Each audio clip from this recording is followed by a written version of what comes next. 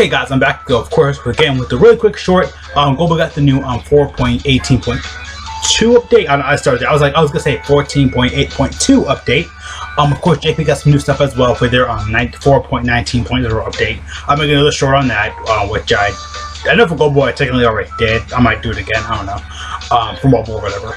Um, countdown celebration, of course, for Namek and stuff like that is coming up um, for the 350 million. Uh, got a couple new things right there. We have, of course, um, more tickets stuff like that, daily missions you can do.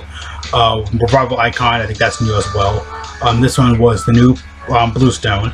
This one was new support item from um, Global Support Memory. We got a couple of those in Global already, in Global Database, which we'll probably see honestly this, at this point.